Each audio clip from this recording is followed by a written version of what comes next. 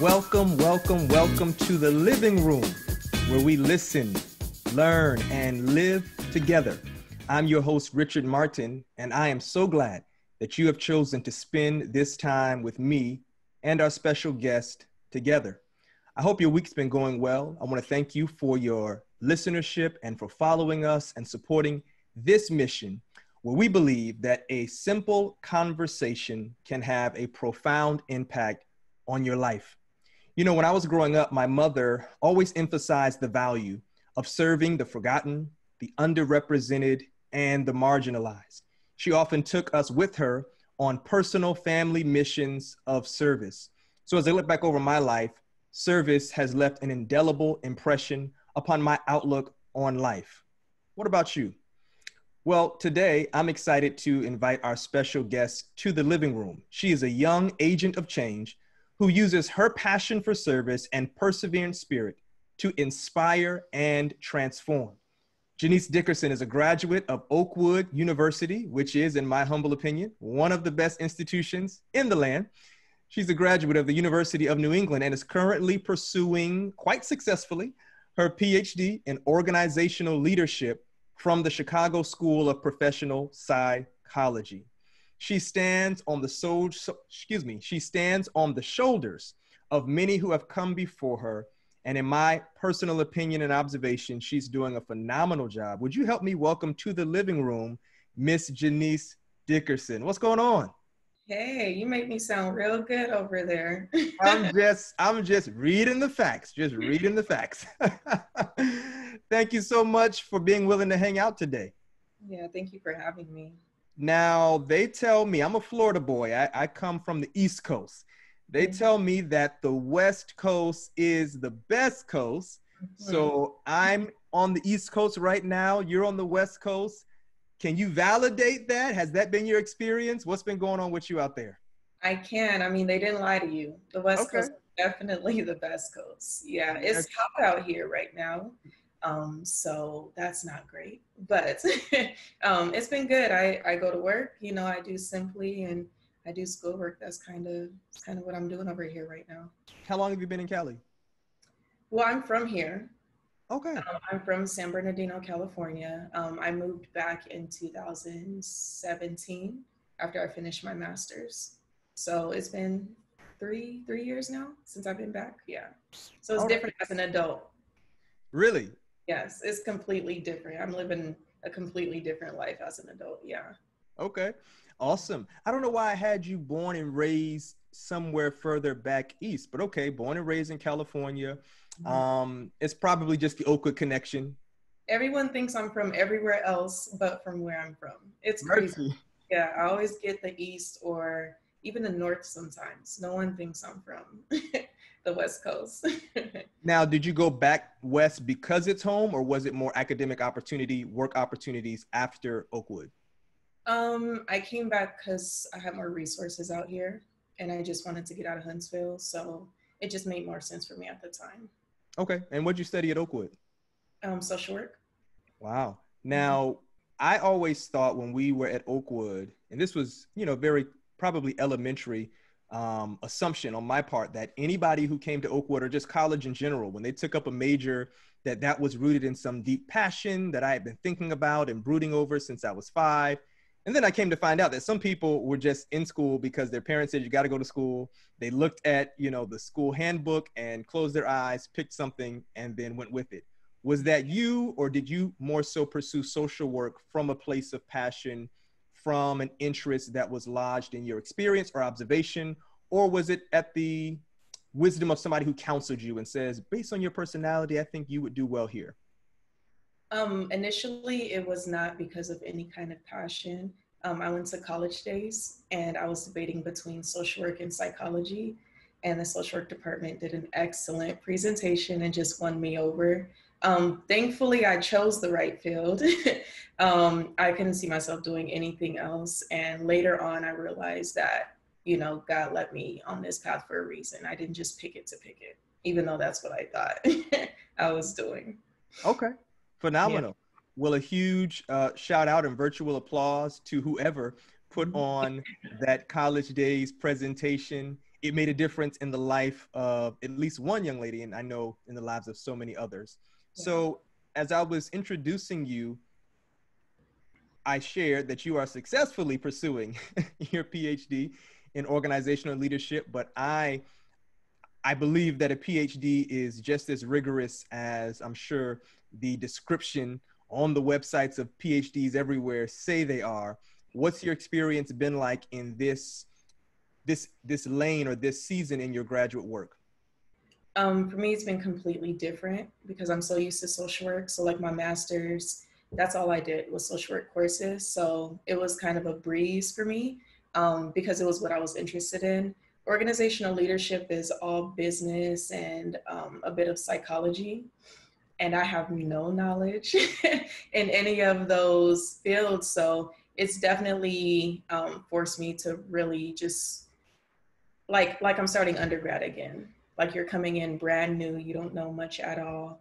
Um, I'm learning a whole lot. It is hard, um, but it's school. So I don't know. I can do school. So for me, it's just if you present the information correctly or well, then I can I can do the schoolwork. Um, but the on, the hardest part has been my dissertation. That's been the hardest part working on that part. Yeah. So you're in the dissertation writing phase right now. So I've started it. They have a course where you have um, where you can only work on your dissertation, and then from here on out is kind of you working on it on your own. So just balancing your classes and your dissertation has been hard because you don't get much direction. You know, you have your chair and you can always reach out to them, but it's it's hard. You know, you're lost a lot of the time. now, yeah. without going into too much detail, mm-hmm. or going into as much detail as you feel comfortable can you share with us what your research focus is? Yeah, so I am researching um, emancipated foster youth in their transition into adulthood. Um, so I work with a lot of foster youth in the hospital. I see a lot of kids come and go, especially teenagers. Um, I also see them age out of the system, and a lot of kids they they don't know the benefits of staying in foster care because you can stay in until like you're 21 and you can receive a lot of benefits, but because they've been in this system that they feel like it's just held them down and it's trapped them, they want to just break out. So they emancipate at 18 years old. And after that, they end up homeless or pregnant or, you know, just doing a lot of criminal activity. Um, and so my research is focusing on the leadership aspect of that and what leaderships what leaders are or are not doing to help them transition just a little smoothly or or just better. And does that come from your work in the social work field?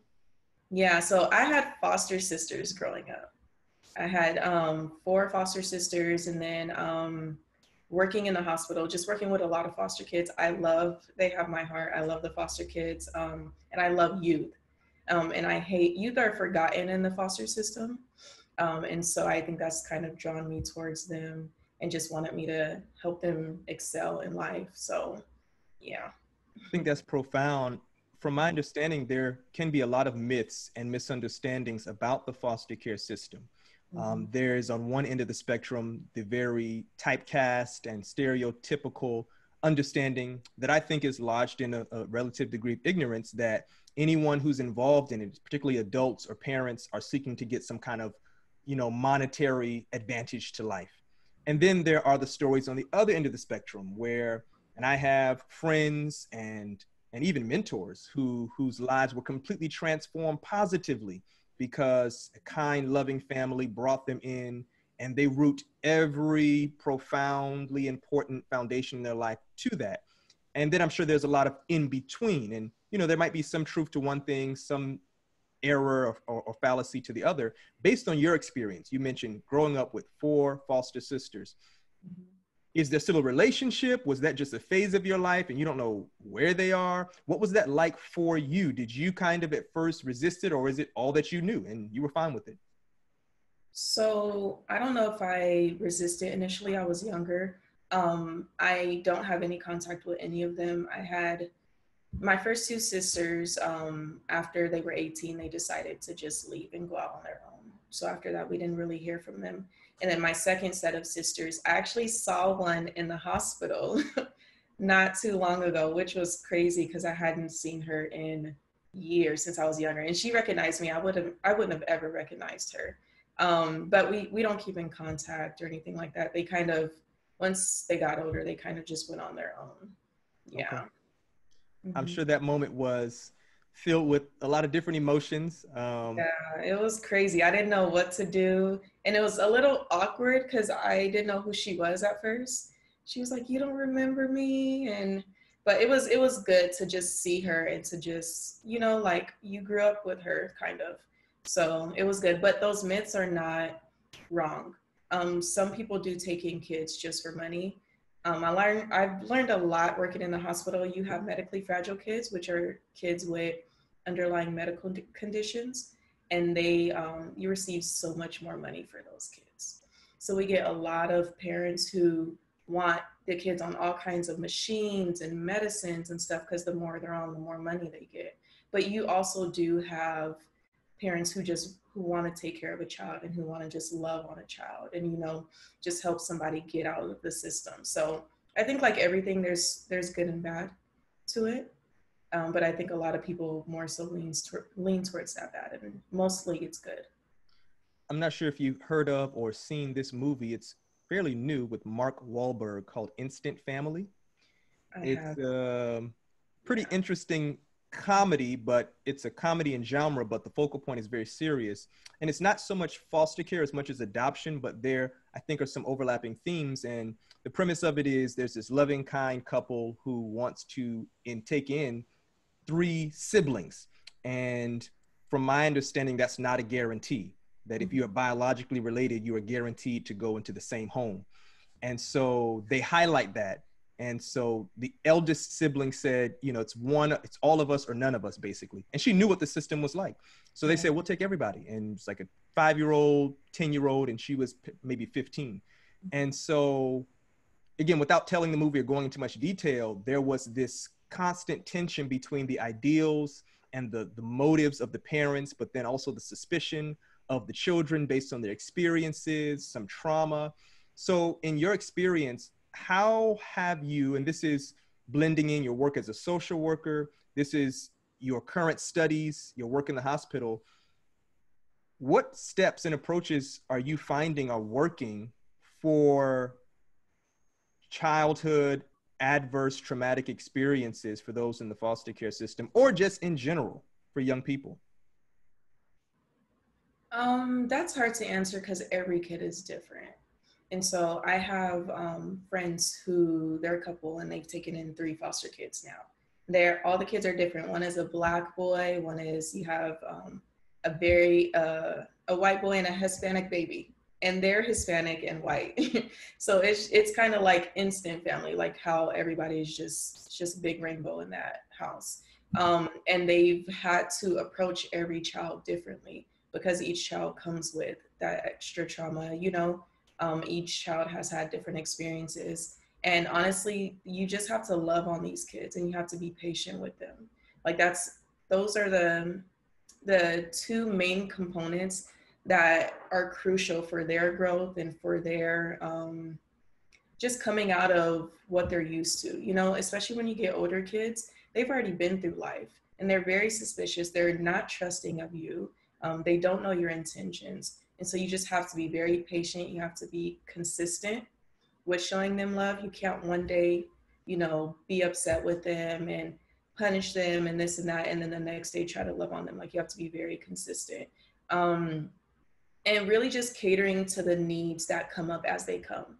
Because you can have a child for three months and they may start acting out after the third month and you're like thinking you had this perfect child um, but now you have to take steps into trying to figure out what's what's the issue, taking them to therapy, you know, putting that work in. So honestly, if you're not willing to put in that work, I don't think you should take in a foster kid. Wow. So at a certain point in your academic journey, you begin to pursue in a very intentional way a certain path of service. Yeah. You have a nonprofit organization that I would like you to introduce us to it. What is it and how did it begin? So, Simpli Service is a nonprofit that I started after I completed my master's degree. Um, basically, we just go out and serve any way we can. We do a lot of different things. We people know us for our blessing bags because that's how I started. Um, but we also do a Mother's Day event every Mother's Day um, at a women's shelter out here. We also go and have a game night at a team shelter. You know, I try to do different components of service to try to show that you don't have to spend a lot of time, you don't have to spend a lot of money. Um, you just need to go out and serve. But I started it after I finished my master's program. And I was in Huntsville. And while I was in Huntsville, I was working two jobs. So I didn't have a lot of time to just go out and do what I'm doing now. Um, I worked at a daycare and I was a bereavement counselor for kids. So when I went home, I did my schoolwork and I, I went to bed. That was kind of my schedule. Um, but I just started to have like this desire to serve. Like I just really wanted to get out into my community. And one day I was on Facebook and I saw a post of a lady putting a bunch of stuff in a purse and handing it out to the homeless. And I feel like I was like a little cartoon with a light bulb over my head and I was like, this is perfect. I can do this. Um, so I started to get Ziploc bags. I started to fill them with basic hygiene items and snacks. I put them in my car and every time I just drove to work and I saw someone like on the corner or wherever, I would hand out the bag. And so that's kind of how my just serving my consistent, you know, keeping myself consistent in serving, that's how it started. Um, it continued with me after I noticed like, okay, this is like something that I can do. I want to do something more. I'm a big dreamer. I don't like to do things that I feel are small. so um, I decided to do a back to school um, event, or not an event, but get back to school supplies for a, a group home in Huntsville. And so I just made a little flyer. Now that I look at that flyer, it was a horrible looking flyer. And I put it on Facebook and I asked for donations. And people just started sending me money. And I thought it was crazy. I'm like, why do you guys trust me with your money? But people just started sending me money. And um, I got this group home. It was like a group home, like uh, 15 kids. I got them all their own backpacks, school supplies. I got them snacks for the school year and a lot of hygiene supplies because these were things that they said that they needed. And after that, there was just like no stopping me at that point. I was like, oh, I can do this. So let's keep going. I also like to do things in my own way. So I didn't want to volunteer at a food kitchen. I didn't want to volunteer at a food pantry, even though those are great things to do. I just wanted to do something on my own time um, in the way I wanted to do it. So that's kind of how I started Simpli. So simpli, for those who might be listening and thinking of the spelling in its more traditional way, it is S I M P L I. Yes. Why that change? So I put an I because as I was continuing to serve, I realized that you have to start with yourself. You can't rely on another organization and you can't rely on just other people to get you out to serve. Um, it needs to be something within you that gets you out there and and to serve basically. So that's why I made it an I. I thought it was very important to emphasize that we just can't rely on everybody to do things for us. So we like to give donations and not really put in the work and change can't really be made if you don't start with yourself. So that's fine. that's a profound statement. Wow. Change cannot really happen if you don't begin with yourself. Mm-hmm. So I feel like that that posture, that heart posture, is somewhat of a departure from how our generation and maybe the generations coming up after us, millennials, Gen X, Gen Y, you know, there are always these characterizations. The mm-hmm. millennials mm-hmm. are this, this, this, and that, that, that. And one of them is that we are self-interested and self-seeking. We we have a distrust of established institutions. Um, and sometimes even a distrust of authority, you know, that there's not as ingrained a loyalty and on and on, all these kinds of, you know, bullet points when everything of a millennial Books have been written on it, right? And I'm not here to debate that as much as I am to say your emphasis on coming outside of yourself and your emphasis on the I, not in a self seeking way, but on the I in terms of beginning with oneself for change outside of oneself.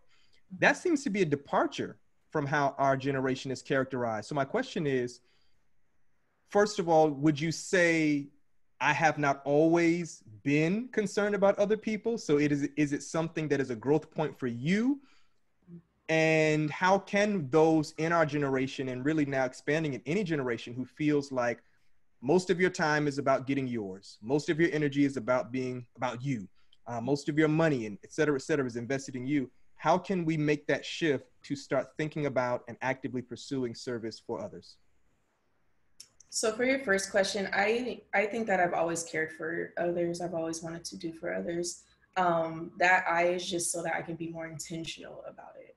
Um, especially when i like when i started simpli it was very much um, me wanting people to join my organization and I want you to volunteer with me and I want to be the one to save everybody. I don't want to, you know, partner with people and I don't want to do these things.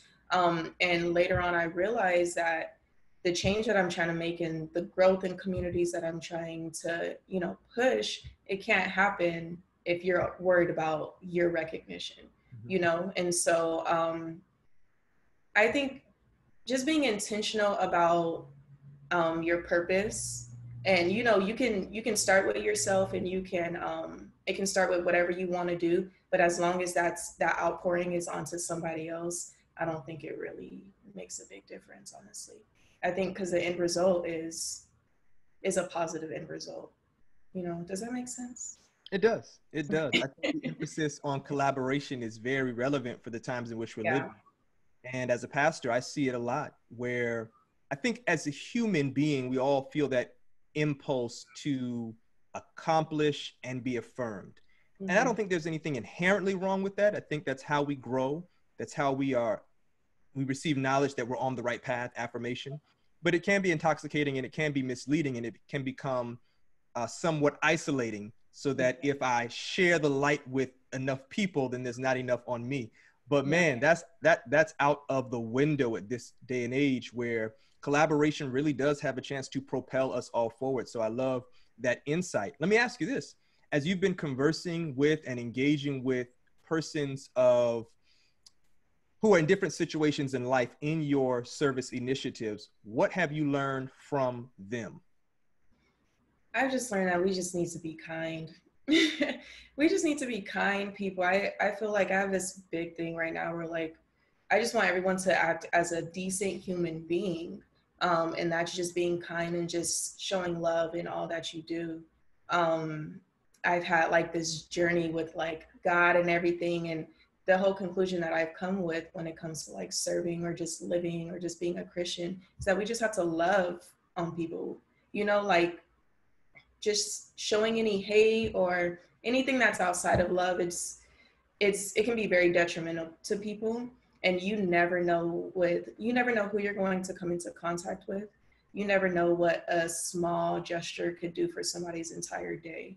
Um, so just constantly showing love being intentional about being kind I, I think that's key to doing anything and to, to just being a decent person.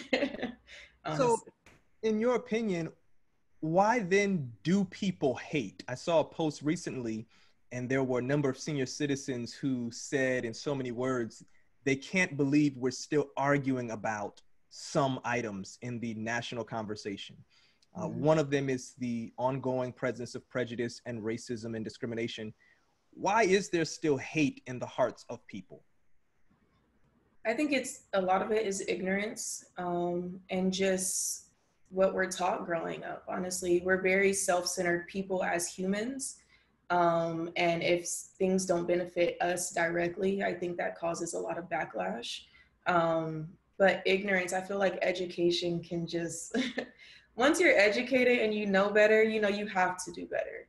You know, so I feel like a lot of it is is true ignorance and and just being so selfish that you don't want to be open to anything being different than what you which you already, you know, have instilled in you. Do you recall any particularly life-changing conversations or interactions that you've had while leading Simpli Service? Um, uh, in terms of like that topic or just in general? In general.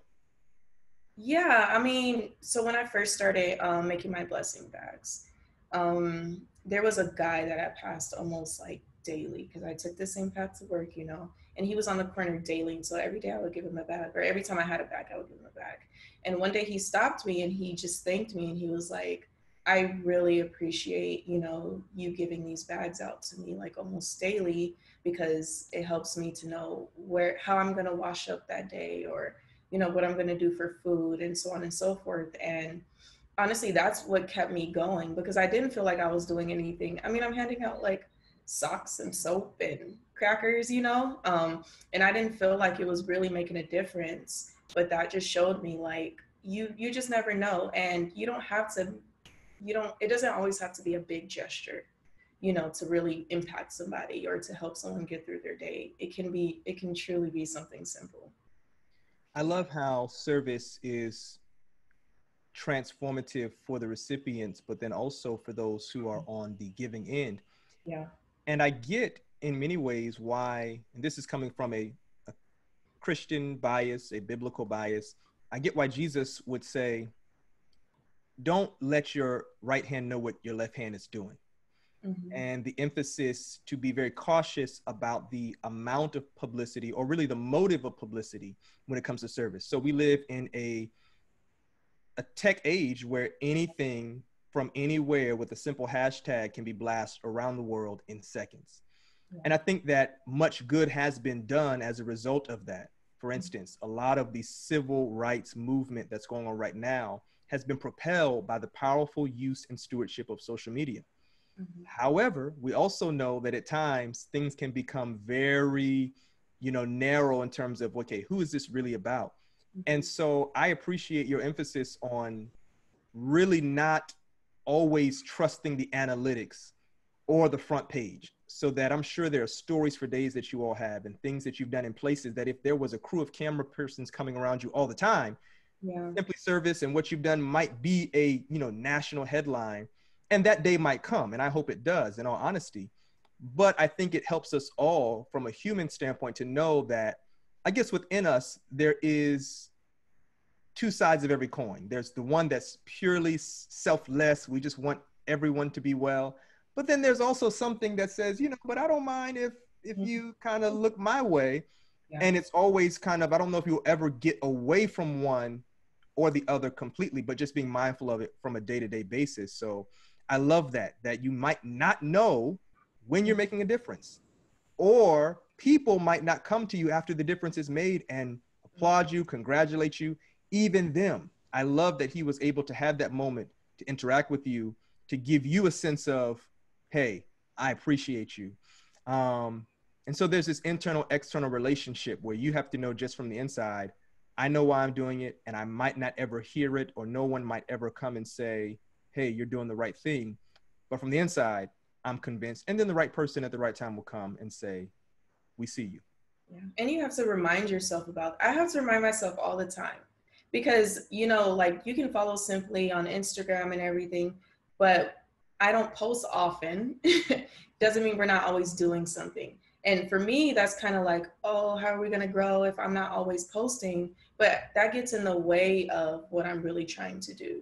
Um and and again i sometimes i'm just like you want to put everything out there because you want people to see what you're doing but i i always have to check myself like why are you doing this are you doing this to be seen or are you doing this to truly try to help people? And honestly like when you need to be seen you will be seen and your you know your work will be shown and you know whatever the case may be when it when that time is necessary.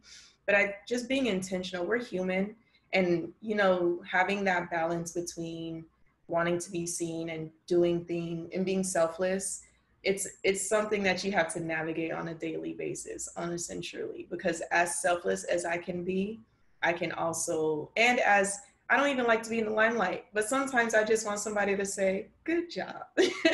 You know and to know you're not always going to get that and you can't that can't be your motivator and you can't move off of that reassurance because then you'll never be consistent and work like this I heard an interview from attorney Bryan Stevenson. Many persons might not know that name, but they might be more familiar with the movie Just Mercy, mm-hmm. starring Michael B. Jordan, which I think exposed a large portion of our population to uh, the work that Bryan Stevenson and the Equality and Justice Initiative has been doing. I mm-hmm. use this as a kind of a segue from our last thought that you might not always be known or, or, or be seen and your work might not garner national attention. So Attorney Bryan Stevenson has been working for against mass incarceration, um, excessive punitive measures, and racial injustice for three decades. Mm-hmm. And now a movie is just coming out. Now his name is growing. He's been in the South since he graduated from law school. And I went and followed them on Instagram, Equal Justice Initiative, his page. I don't even know if he has two pictures posted, right? Mm-hmm. Um, the Equal Justice Initiative page is not, it doesn't have a lot of posts. People are now gaining interest and awareness of it. But what was profound to me is that his work preceded the recognition. His work was consistent and meaningful and impactful, even when it was just the family who received their loved one back again. Yeah. You know? And so it is sobering. And, and I love the point that you made because it humanizes us all. Mm-hmm. That as selfless as we can be, you catch me on the right day and I can be all about myself. yeah. and um, you're right. It takes a daily effort to navigate that. From a faith perspective, we know that God is helping us with that. Um, for those persons who aren't there yet, it takes your community, persons who can say, you know, all right, don't forget where you came from. yeah, I mean, we also live in a day and age where you, if you didn't show it, it didn't happen. Mm. You know? So it's hard. It's really, I feel like it's harder for us. I always say, I wish I was born like in a time when there is no social media. I would thrive because it puts so much pressure on you to just always want to or feel the need to show what you're doing. You know, so it doesn't help. It doesn't help. And as much as like people I feel like as much as people say they don't care about social media and all of those things, I mean, when you have like something you're trying to do and something that you want to be known, you do feel that pressure and that need to always show everybody everything. and, and, it can be such an interesting internal struggle, especially in the arena of service, asking yourself, should I take this picture? Should I post this picture? That's real. Very awkward. Like, hey, can we get a picture together? Because you never know how that's going to come off, and you don't want that to be misperceived or misinterpreted. So, oh, you're just here for the photo op.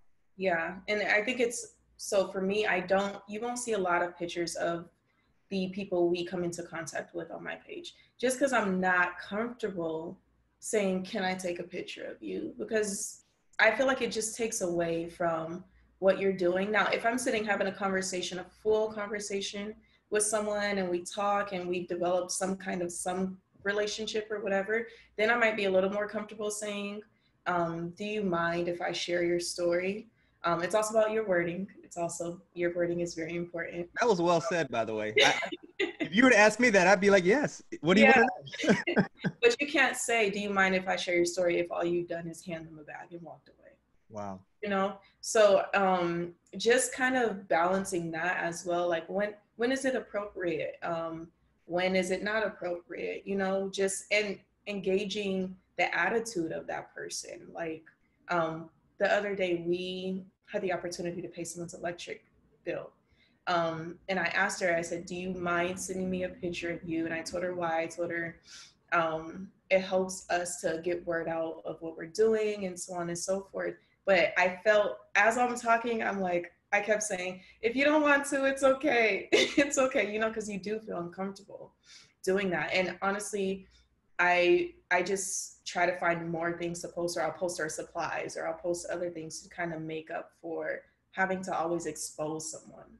Because I wouldn't want to be exposed. If I'm struggling, I'm on the street. No, you may not take a picture of me, you know, and show it to the world. So it's important to just be intentional and to be mindful of those things. So, thinking about your upbringing, would you say you've had to overcome adversity? And if so, how has it shaped you and how is it shaping you? Yeah, so I never really know how to answer that question because I don't feel like I had to overcome necessarily. I just had to like navigate through the situation. But um, growing up, we struggled a lot. Um, my mom, there are a lot of days we walked in the house where we didn't have lights on or we didn't have food in the house or no hot water um, and things of that nature. Um, but all of those experiences, I just feel like it it's helped me to become resourceful um, and to be more mindful of people's situations because on the outside you would have never known what was going on inside of our house. Um, we were always very well kept. We weren't your typical like homeless, struggling family. We didn't look that way. Our hair was always done. We always had on clean clothes. We didn't wear the same clothes every day. You know, um, we also didn't tell people what was going on in our house, so we weren't just walking around sharing things. Um, but it's been it's caused me to be mindful of you never know what somebody is going through you know to be kind to um, just be intentional about how you how you talk to people and how you treat people so i think it's just it's shaped me to care just a little more just because i know what could possibly be happening in someone's home at this point there are those who say that the united states is fighting two different pandemics mm-hmm. there's covid-19 and racism. And I want to mention two names that I hope can serve as guideposts for your reflections Breonna Taylor and Kamala Harris. Yeah. When you hear these names, what do you feel? What are you thinking? What do you see? What do you hope? Um, so when I hear those names, I honestly get sad. You know, I get upset. Um, I don't know much about Kamala. I'm not gonna lie. I'm not into politics, but I do know who she is. Um, however, what I see about her recently is just all negative things. You know, you have your your side where people are happy um, with the position that she's been put in um, because she's a black woman, but then you have people who have also been trying to, to demean everything she's for or has ever done. Um, so I just get sad because honestly, so I've had a lot of recent conversations about Black women and how we're mistreated the most and how we're at the the bottom of the totem pole. Um, actually, just read a book that you should actually read. It's called The Cross and the Lynching Tree, um, and there's a whole chapter about Black women and how we're treated and how um, just how no one fights for us the way that we fight for other people.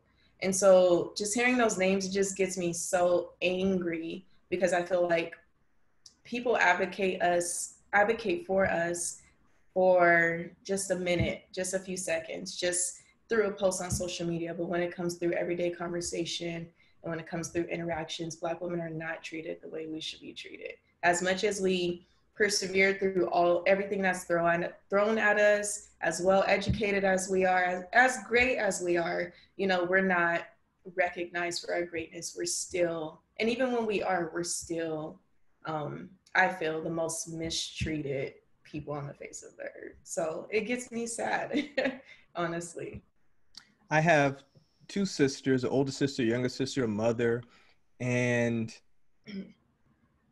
the experiences of Black women in America, I agree wholeheartedly, have been underappreciated, undervalued. Mm-hmm. To, to circle back to a word you used earlier about education. I heard a profound quote once, and it really presented this image in my mind that helped me to really see what is what is very possible to miss, what people don't want you to see. And the quote went like this the health of the American nation was nursed on the bosom of, black, black women. Yeah, I've heard that one. And it's real.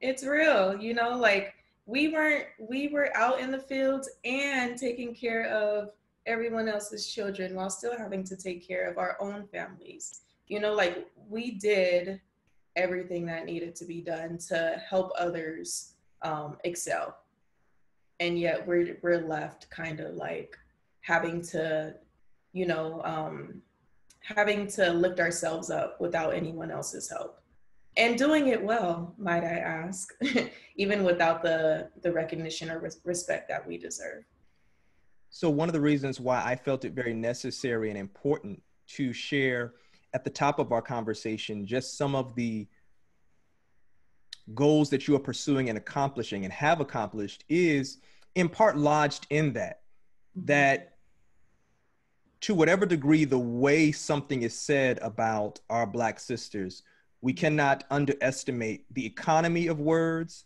the tone of words. And I'm not trying to philosophize here, but in all in all seriousness, I think there's a difference, if if for no other reason than implication, between yes, so I'm glad to have Ja'Nece Dickerson here with me. What's up, yeah. Ja'Nece?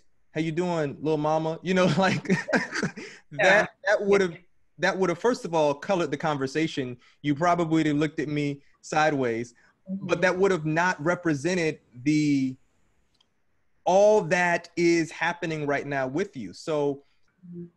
words, yeah, conversation, what is said, you know, and how it's being said. So I want to now ask you, that's that's from just my perspective, n- not knowing by my own personal experience what I know what it's like to grow up as a black man, black boy in America. And that's challenging, right? And so when it comes to your your whole health or comprehensive health, that is mental, spiritual, emotional, physical, relational, in light of all that we've talked about and, and some of the other elements that we didn't talk about yet, how integral is your relationship with God in all of these things? Another way to put that is, and you can add to it. I'm, I'm coming from a faith perspective, and you can add to that other other items. Mm-hmm. What is keeping you grounded mm-hmm. in light of all that there is to be sad about, mad about? Mm-hmm. What keeps you rooted? What keeps you whole? sane moving forward? Um, just being just my reasoning for doing what I'm doing keeps me grounded. Um, that constant reminder of people need help um, keeps me going. Um, my my relationship with God is crucial for me. When I first started Simpli, I had a lot of um, pushback because I would serve on the Sabbath. Or you know i would i would just do things my own way. Um, and so i had to really just pray a lot and read my bible a lot to kind of figure out okay am i really doing something wrong here? And after i you know continue to develop my own relationship with god and to and to um, get into scripture on my own and to kind of interpret it for myself I recognize that no, Jesus did stuff on the Sabbath. You know, I'm not doing anything against what he's telling me to do. I'm not um everything that people are telling me it's it's because they're uncomfortable with what I'm doing because it's not what they're used to that's not necessarily because I'm doing something wrong. Um and my my growth and my journey with God has really um, helped me to keep pushing because it it's caused me to just disregard everything everybody has to say um, against what I'm doing and how I'm doing it and how I should shape it and so on and so forth. Um, and it's reassured what I'm doing. It's kind of confirmed like, you're good, keep going. You know, this is what you're supposed to be doing. This is how God is leading you. Um, just because you're not doing it in a church setting does not take away from anything. I feel like I do more ministry on the street you know than i do in the church and that's a whole nother topic but yeah i my relationship with god was and it's still but in the beginning it was very crucial for me because i did question a lot of the things that i was doing because of what people shared with me i heard once that people do not resist change they resist loss and sometimes that resistance to loss can come off as hyper criticism Mm-hmm. And so the mission that you're on with Simpli Service can cause people to be very defensive, mm-hmm. especially if it seems to be a departure from what they're used to. Well, if I go here or do this, will I lose this or that? And in a very real sense, and I think you've found this peace of mind in your own pursuit of God and clarity through his word that this is an outliving of the principles of scripture. That if Christ's ministry is liberative, if it is uplifting and edifying, if the Sabbath is a picture, a symbol of the rest we ultimately have in Him, then why can't I mm-hmm. serve people, bringing rest to them yeah. where they are? minds to their bodies. So, yeah, I think that we, sorry to interrupt, I think that rest for me, rest, I think when we think of rest, we think of just laying around, not doing what we do during the week. I think that's like one of the first things that comes to our mind. Um, but you can you can ease somebody's mind by helping them, and I feel like that's a form of bringing rest as well. Um, and it's a form of healing. Any type of healing is bringing rest to me, and I think it's it's important to look at all aspects of the Sabbath and all there just all aspects of what the Sabbath means for us um, and what rest really means for us. And to know that it's not all about you and your rest. Sometimes you need to bring something to someone else, you know, like help someone else rest. It's not, you know, you can rest next Sabbath. but I also wanted to talk about, um, you talked about loss. And this is something that I actually learned in my program. So grief, grief is, it can be through anything. I think of, I believe that people only think of grief when it comes to death. Um, but grief is literally a loss of something.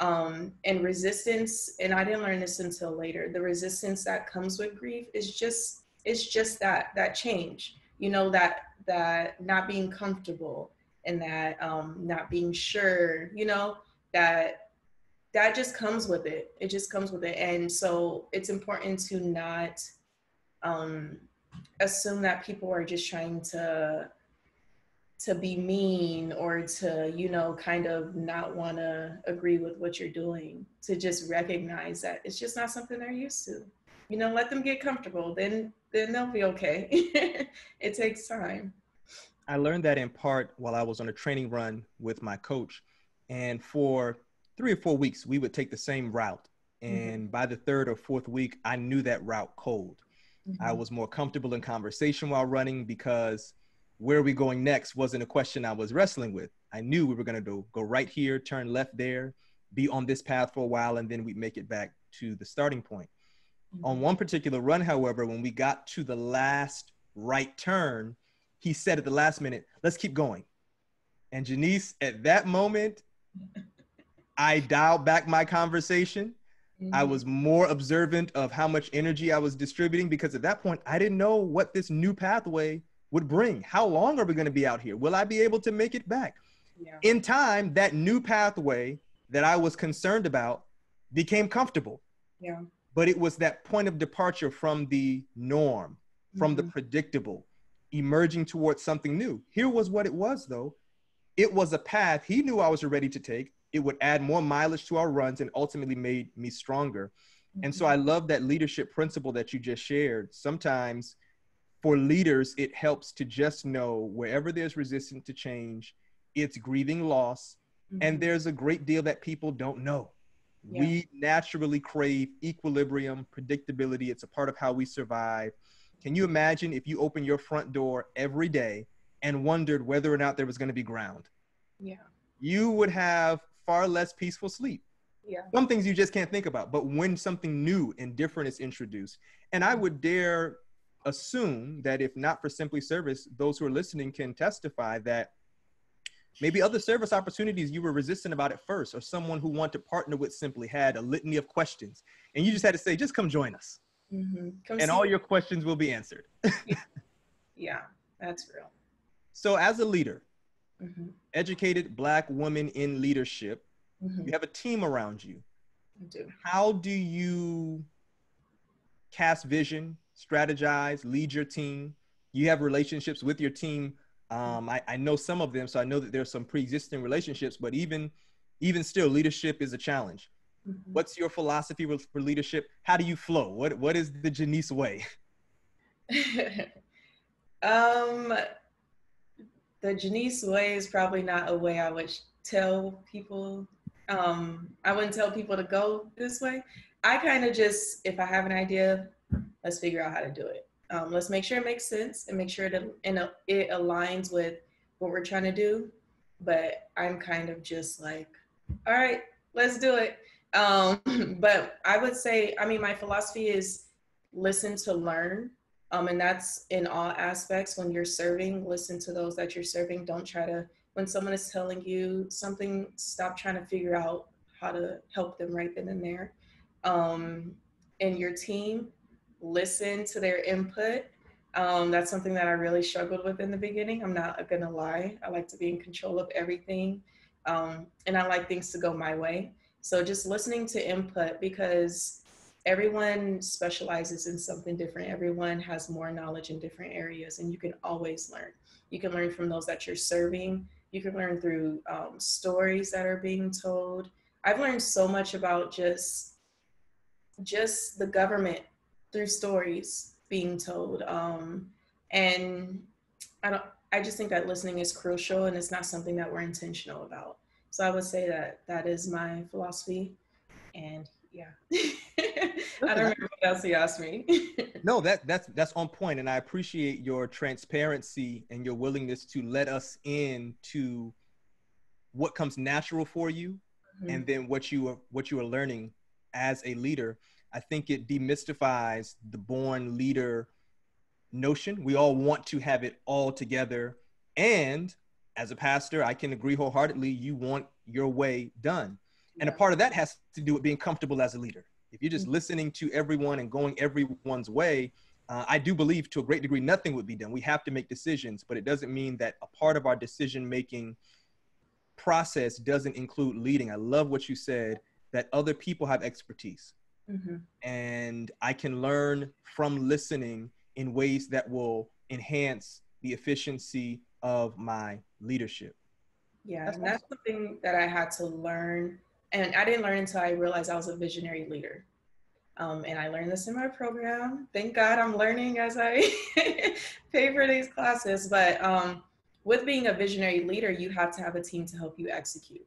I know what I want to do. I know exactly what it looks like. I can tell you where everything is placed, how many, you know, what exactly everything, but I can't always execute it on my own.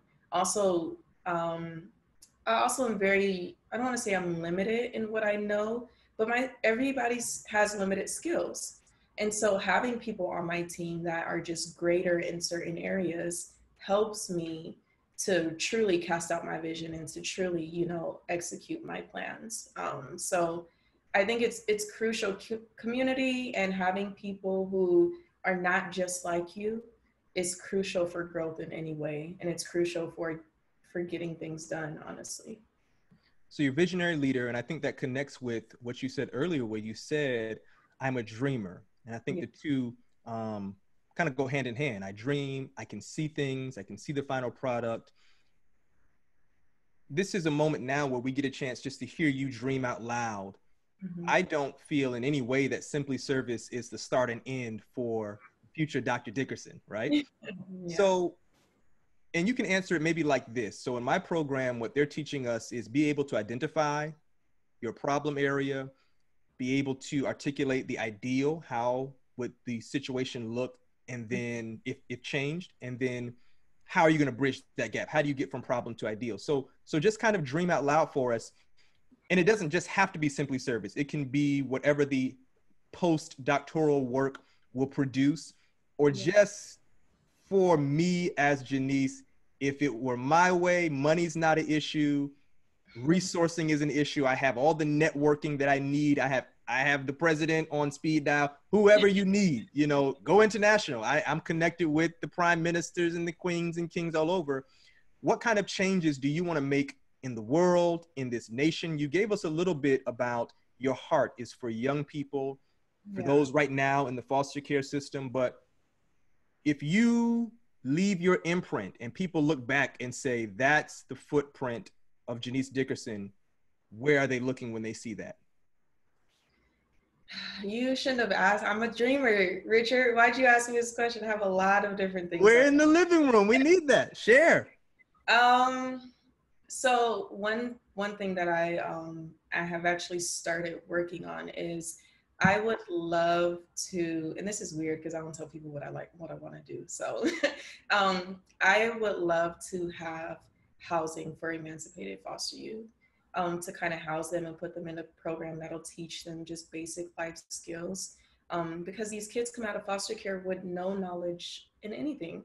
Um, they don't know how to use money at all, but they don't know how to like budget. They don't know how to grocery shop when you only have $20 for the week They don't know how to apply for jobs, apply for college, you know, where to look for scholarships. Um, they don't know how to clean properly. Just things that we don't think twice about. Like these kids are being put out on the street, basically having to try to figure out as they go. Um, and so one of my dreams is to have a transitional um, living program where these kids can emancipate if they want out of foster care, but there's housing for them. They won't have to rely on what they have and what they know. Um, and they're put in a program that they would have to graduate out of um, before transitioning completely on their own. Um, so that's one of my big things that, which has kind of like guided my um, dissertation topic, obviously, because if I do this, I don't want to be the leaders out here not leading properly. You know, I really want to take the kids' needs into consideration and to apply those needs to them um, effectively. So that's one thing. Um, as far as simpli, I mean, there's so many routes that I want to go simpli, but overall, I I would love to just be able to just speak and educate people on poverty. When people think of poverty, they think of homelessness and um, just struggling. And there's so many branches of poverty that people don't talk about. Um, there's so much trauma that comes with living um, in poverty. There's there's just so there's just so many factors that branch off of the topic of poverty that people are completely ignorant to. Um, and I do believe I obviously I'm all for education. I'm still in school, so um, I do believe that education is key to growing and to learning and to changing ways. And I don't feel like we can. I can't get people to come and to continuous to to continue to volunteer with simpli and to really have a heart for what I'm doing if they don't know why, if they don't know the ins and outs of what we're really working with and what people on the street are street are really dealing with. So just educating and really and really just lighting fires in people to understand why this is an issue, why it needs to be talked about, and why we need to like go ahead and try to fix some things for people. You mentioned that your PhD program is organizational leadership, yeah. and you shared with us a bit of what you are researching. Angela Duckworth is a psychologist who wrote a book I read and love. It's called Grit The Power of Passion and Perseverance. In that book, she introduces a concept called doing the hard thing.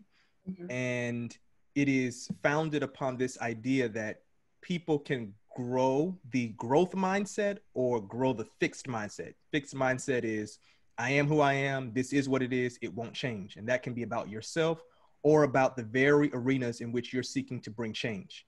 Mm-hmm. You're talking to a person and they just say, ah, it's been like that for decades, a thousand years. You know, mm-hmm. who do you think you are to change it? Fixed mindset. Then there are others like yourself who have that growth mindset, and the growth mindset can be nurtured wherever you find yourself. And it's not always linear, you know, wherever you find yourself in your life, and you might have a fixed mindset in this area of growth, you can grow. The doing the hard thing is this. It's something that her family does every year where they have to choose a hard thing something that they don't it doesn't come natural to them. And the, the whole thing is i've got to stick with it and see it through. So i one of your hard things is you're pursuing a phd that's hard. That takes work. It takes time.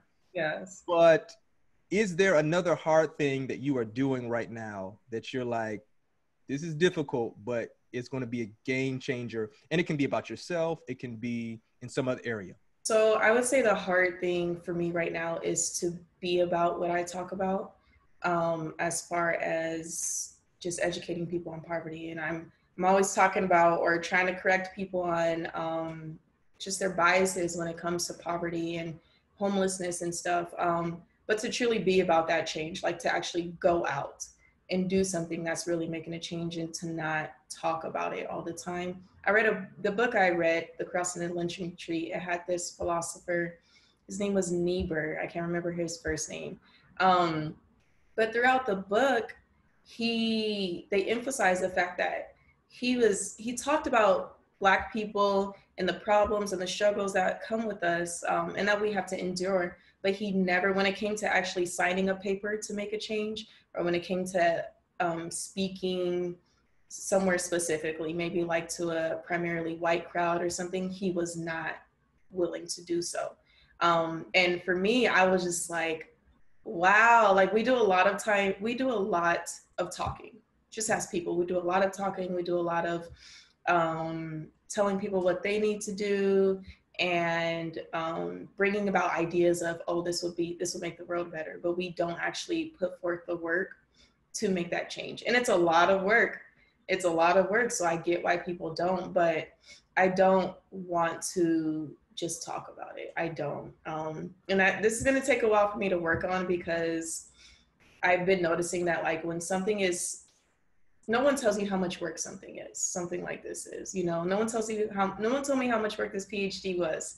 And then you get in it and you're like, abort, abort mission. I don't want to do it anymore, you know? So um, just being about what I talk about. That's, that's that hard thing for me. Getting out of my comfort zone is primarily why it's hard. I have a very small bubble. and so getting out of it is completely uncomfortable for me. But in order for me to grow and in order for change to be made, it has to happen. Well, it's clear to me, and I'm sure clear to those who are listening, that you are not only discovering and developing your voice, but mm-hmm. you are gaining your footing and you are talking the talk and walking the walk.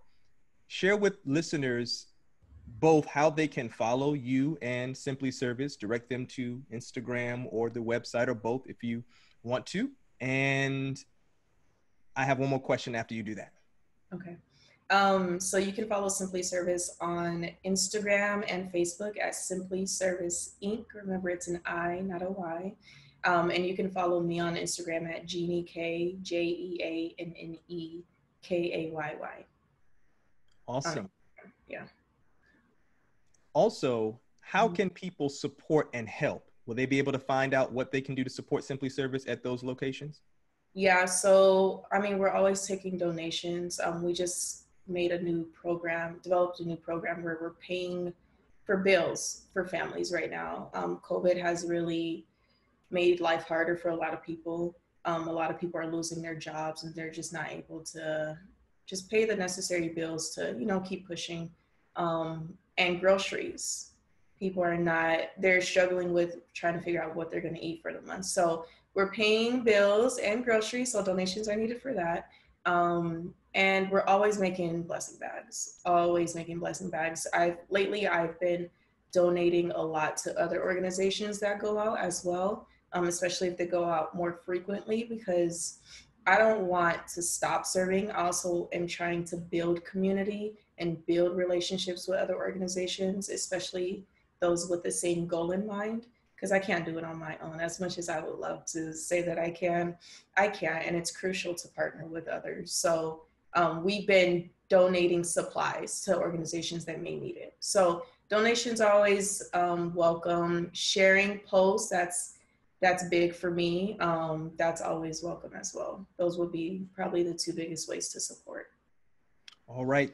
You heard it here, my brothers and sisters. Donate, share, connect, partner. You've heard she's been kind enough to dream a little with us out loud. Uh, yeah. we appreciate that and we value that. And I want you to continue dreaming and continue to cast vision and lead through resistance. Continue to be the change agent that you are. Here is our final question. You can send a text message to yourself 10 years into the future what does it say? My text message was say um, to just keep pushing and stop doubting yourself. Um, I have a bad habit that I just recognized not too long ago that I kind of diminish my abilities and um, just my knowledge in certain areas and just what I'm capable of doing. Um, and it stops me from pursuing certain things and honestly when i when i finally decide to pursue those things i realize oh you can do it if you just didn't doubt yourself in the first place you know have more confidence in what you're capable of um, and knowing that failure will occur but it is okay um, that's also something that I'd probably put in a text. I don't do well with failing. um, so I don't like to accept failure. Um, and so that's something that, you know, stops me from just growing and doing things. I'm smiling. I'm just, I love it. I'm grateful that you were willing to have this conversation and share and sensitize us to the powerfully transformative results of service, of coming out of oneself to uplift other people. What is your estimated time of graduation? So, pray for me, you guys. I want to graduate next year. Next May, I want to be done. I don't know if I have any more in me. Um, next summer at the latest is when, and I can be done. I just have to put in the work to finish my dissertation. That's what it all comes down to. Um, to work on my dissertation while I'm still in classes. So next year, I I plan on announcing that I have graduated with a PhD in organizational leadership. Oh, I can see it already. I can see the velvet hood, the blue, your yes. three stripes. And I will say she was in the living room first. well, awesome. In advance, congratulations. Hey, listen, everybody, go follow Ja'Nece Dickerson and send her some love. Let her know you're doing well, finish strong, pump her up, let her know that she's making a huge difference. We appreciate you and we thank you for being here. Well, I know that you are glad that you came to the living room today. We have listened and we have learned, and we're going to live based on what we have learned. That's all we have for you today. I'm your host, Richard Martin. Our special guest has been Ja'Nece Dickerson. We thank you for joining us in the living room, and we'll see you next time.